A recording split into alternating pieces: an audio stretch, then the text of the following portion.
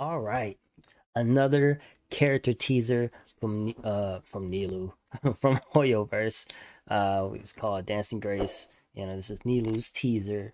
So uh, yeah, man, uh, we gonna get straight to it. You know, if you guys enjoyed the reaction, you know, uh, smash the like button.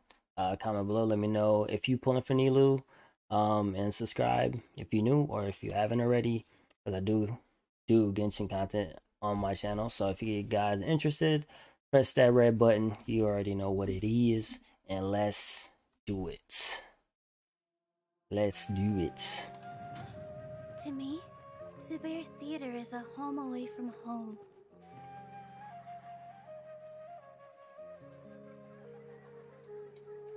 Nilou is a um, very beautiful uh, character. I really like her design. How are the props? I did some fixes and touch-ups. Oh, they were great. Thank you so much, Miss Nadia. And if anybody into redheads, It's over. there you go. I hear Mr. Zubayr yelling at me every day. Oh, he's just a worry wart is all.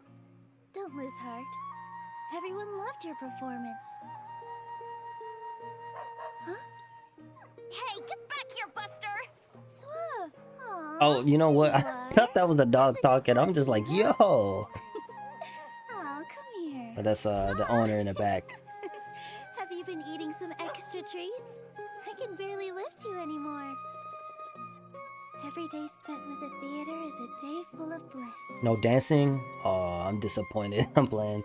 Oh, we get feats again? For free? Dang.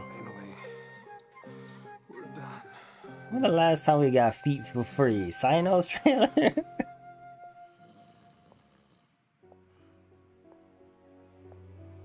Without everyone's tireless efforts, this special place wouldn't exist. nice. I always wish the show could last a little longer. Dude. Oh, we, we, we, Nila can sing too. I, I, I, I expect singing and dancing next time. Yeah, she's a she's a beautiful character, man. To watch our performance. Very very beautiful character, man. But um, yeah, man. Um, beautiful trailer like always, man. Hoyoverse don't miss. Um, very. I feel like it's very very different from like other trailers. Um, I mean, just I don't know. It's just like happy. It Ain't really nothing really going on. It's just really about her life, and I feel like Nilou's life is just like, you know, just ordinary and.